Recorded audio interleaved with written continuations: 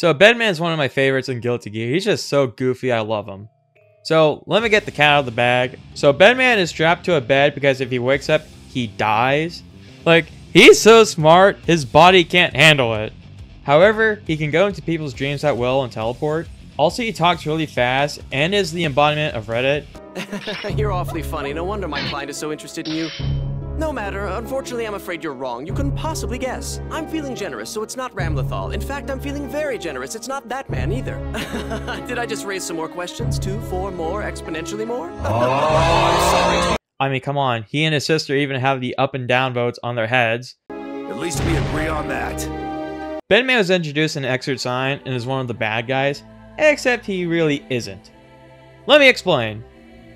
In one cutscene in Xrd Rev 2, Bedman talks with Axl Low because Axl can't decide if he should use his power to go back in time to his original timeline and destroy this one or not. Bedman then tells him what he's actually planning, to work with the universal will to make a new world for him and his sister.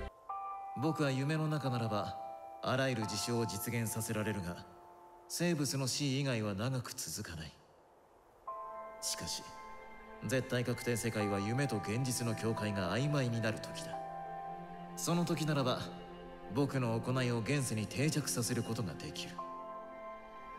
つまり妹をそして今まで殺してきた人間も全て元の生活に戻すことができるんだ。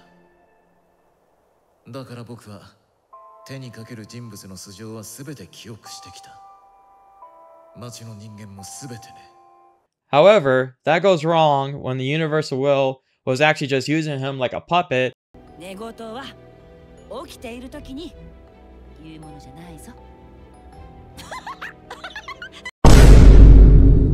In Strive, however, Bedman's character is completely changed. So the bed he was on is the fighter now, and we don't know if it's actually Bedman's soul or just a programming Bed Bedman made.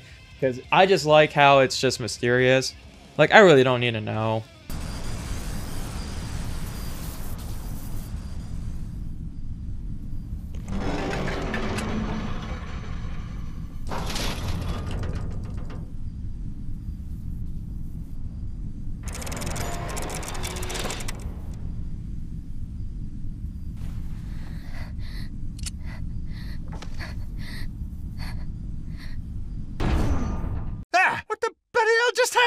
Here's a fun fact about Bedman.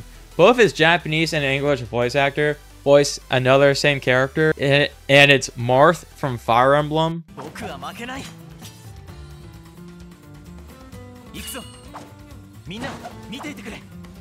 This is it! I won't lose! I won't lose! I won't lose! I won't lose! Keep your eyes open! Yuri Lowenthal is the English voice actor who also voiced Teenage Ben 10 and Spider-Man PS4. I'm not going to say this name because I'm going to screw it up, but here's his name. Who voiced Garou from One Punch Man, Tien Shinhan from Dragon Ball, and Rentaro from Danganronpa 3. They both do a great job, and I enjoy hearing both of their voices. I usually play Guilty Gear in Japanese, so... So, let's talk about his gameplay. I'll show his normal attacks first from both games. Here's his punch, far slash, close slash, heavy slash, kick, and dust attack. Here's his low punch, slash, heavy slash, kick, and low dust attack. And here's his aerial punch, slash, heavy slash, kick, and air dust attack. Both versions of Bedman can flow in the air and move in any direction. Each version of Bedman has different gimmicks though, and I'll talk about his Xrd game first. Bedman has four special moves, Task A, Task Apostrophe A, Task B, and Task C and they can be followed by Deja Vu, and that's his gimmick. I'll explain here in a second. Task A is where Bedman throws his head at the opponent. Task A apostrophe is the same move, but Bedman then teleports to the opponent when they get hit. Task B is where Bedman spins like a Beyblade, and Task C is where Bedman falls on top of the opponent and crushes them. Now, Deja Vu is Bedman's gimmick in Xrd. After he uses a special like Task B, an icon pops up allowing him to use it again.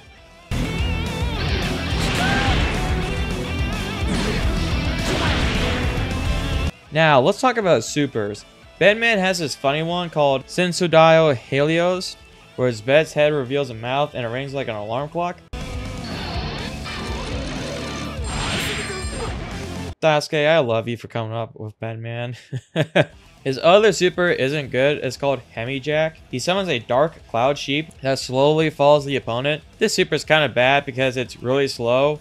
And if you get hit, the sheep disappears. And you have to launch him into the sheep for it to actually do it. At least that's the only bad thing with Bedman. He's not top tier, but at least he's fun to play though. And finally, he has a cool insta-kill called Theater of Pain. Ah, you've already made the mistake. The mistake that will cost you. No, I don't want to see that.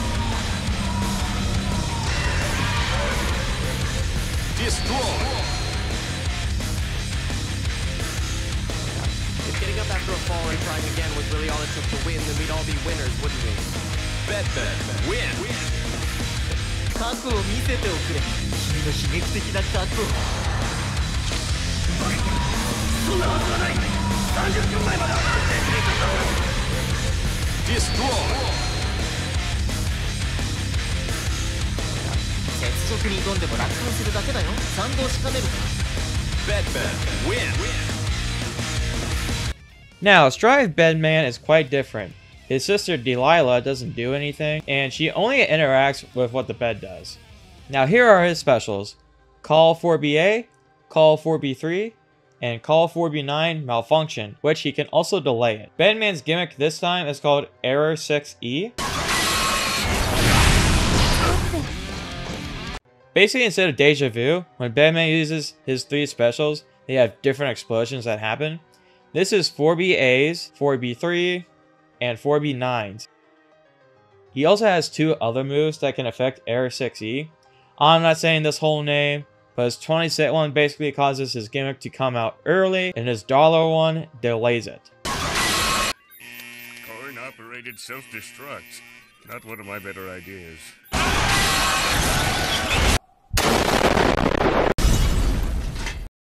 Ouch. Bedman has better supers this time.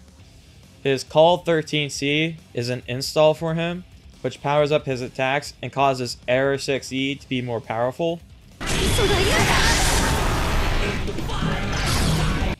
Call 4CC. He basically pulls a shockwave out from his eye, and it has invincibility, so it's good when the opponent is about to attack you.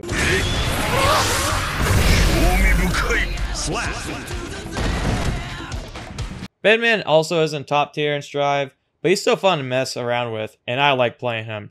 Not like the Universal Will though, screw that bitch.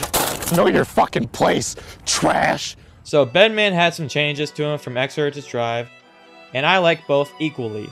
Now granted, I like Deja Vu better than Error 6E, but both versions keep me interested, and I feel bad for both of them. Like, like Bedman died in Xrd, and I actually cried when I saw the DLC story of Bedman at this scene. So that's all I gotta say today. Have fun playing Strive, and keep cooking those combos. See you later, guys, and have a nice day.